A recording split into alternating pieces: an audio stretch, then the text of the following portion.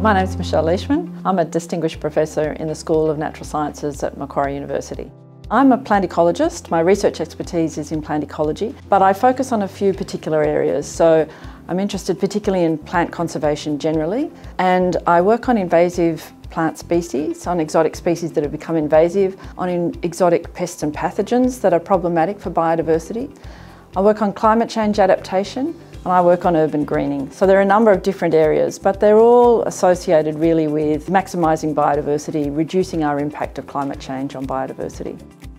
I've been doing this for a couple of years now, about five years in collaboration with colleagues at Western Sydney and New South Wales Department of Environment.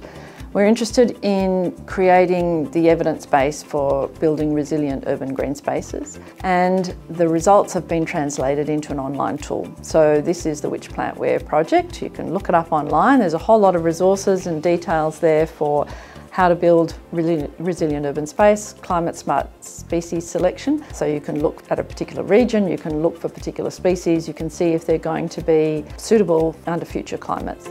It's like building the tools and resources is what I really like doing. That's the translation of the research into practical outcomes.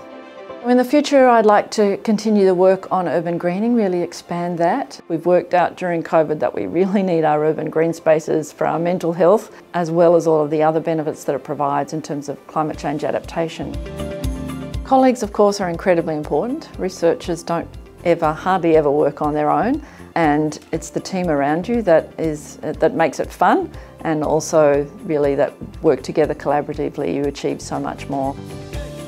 So I'm thrilled to win the prize. It's a great honour. What can I say? I'm very excited about it.